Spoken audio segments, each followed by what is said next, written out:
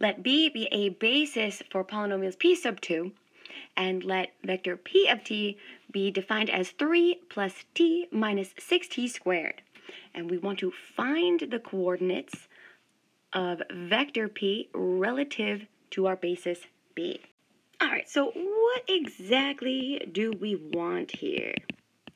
We want to find the coordinates of vector p relative to our basis b, and we'll say that's our column vector of weights c sub 1 through c sub 3, such that c sub 1 times vector b sub 1 plus c sub 2 times vector b sub 2 plus c sub 3 times vector b sub 3 is equal to this vector p.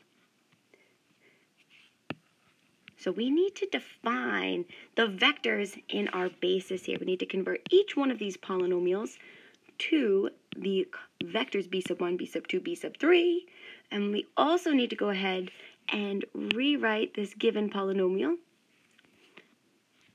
as a column vector. So let's do that first.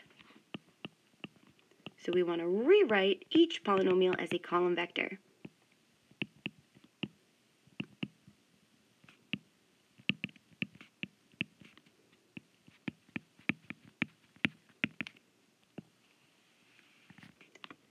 So let's think about the polynomials in our basis first. So we have 1 minus t squared.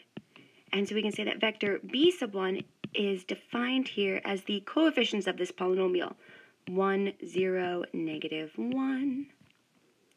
The second polynomial in our basis is t minus t squared. So we can see that vector b sub 2 is the vector defined by the coefficients 0, 1, minus 1. And last but not least, we have 2 minus 2t plus t squared, which gives us that vector b sub 3. Again, using our our coefficients here, we have 2, negative 2, 1. So these three vectors are the vectors in our basis, and we can use these three vectors here to define the change of coordinates matrix.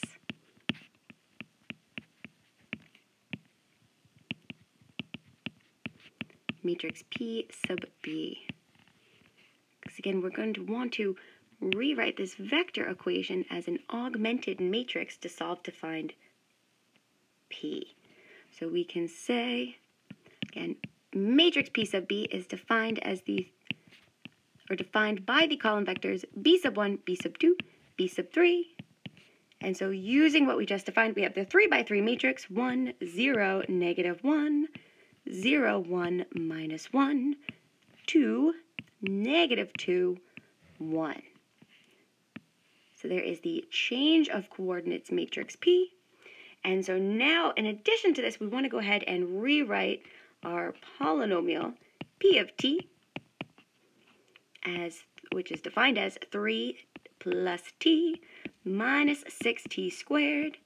And we can convert this to the column vector 3, 1, negative 6. So we now have everything we need to create that augmented matrix that we will then use to find the coordinates vector.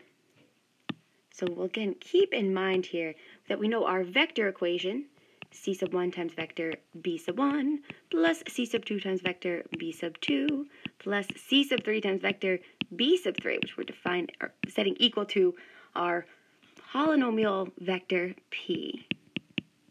And we know that our vector equation is equivalent to the matrix equation, b sub 1, b sub 2, b sub 3, that change of coordinates matrix, multiplied by the vector of coefficients, c sub 1, c sub 2, c sub 3, that's what we want, is equal to vector p. So we'll use this matrix equation to create the augmented matrix and then solve by row reducing to row reduced echelon form. And we'll give ourselves plenty of room here. So we're ready to row reduce our augmented matrix B sub 1, B sub 2, B sub 3 with vector P to row reduced echelon form. And so using those, or using the change of coordinates matrix, we have 1, 0, negative 1, 0, 1, minus 1, 2, negative 2, 1. And we're augmenting this with vector p, which will, we defined as 3, 1, minus 6. All right, so looking at our first pivot here, we want to eliminate the entry below it. So we simply need to add the first row to the third row to attain that new third row.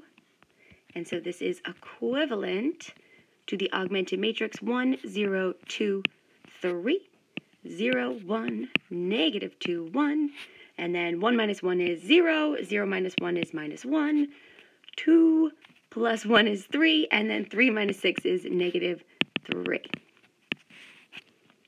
And our first column is all set. So moving to our second pivot position, we want to eliminate the entry below it. So to do that, we simply need to add the second row to the third row to get that new third row. And so this is equivalent to the augmented matrix 1, 0, 2, 3, 0, 1, negative 2, 1, and then 0, 0, 1, minus 2. And our second column is all set now. So we have our third and final pivot, and we want to use this to eliminate the entries above it. So we'll do two steps here. We need minus 2 times the third row plus the first row to attain the new first row. And then we'll need to do positive 2 times the third row plus the second row to attain the new second row. And so this will be equivalent to the matrix. So we have 1, 0, 0, and then positive 4 plus 3 is 7. And then we have 0, 1, 0. So then negative 4 plus 1 is minus 3. And our third row is remains the same, 0, 0, 1, minus 2. And so this lets us know that C sub 1 is 7, C sub 2 is minus 3, and C sub 3 is negative 2, which are the coordinates of the coordinate vector. So therefore, the coordinates of vector P relative to basis B is the column vector 7, negative 3, minus 2. And this is our beautiful final answer.